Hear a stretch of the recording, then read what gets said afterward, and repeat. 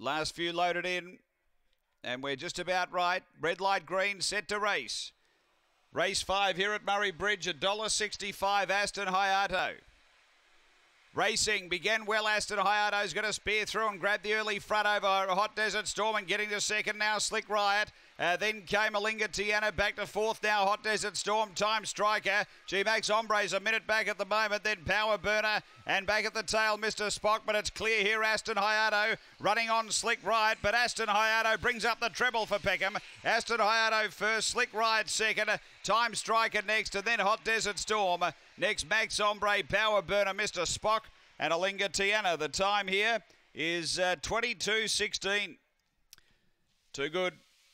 Number three, able to uh, drive through, grab the front. That was never any danger, and the money's been good for the Peckham runners tonight.